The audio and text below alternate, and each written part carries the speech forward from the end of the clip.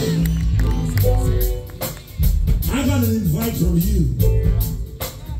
I was supposed to be in Virginia, but we made a trade. yeah, tonight I actually have a, a festival that I do every year. But when he invited me to come to Virginia, um, to Vermont, I was like, man,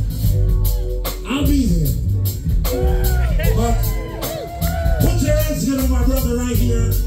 Ever since I was a child, his name is Brother Sidney Mills, calling from the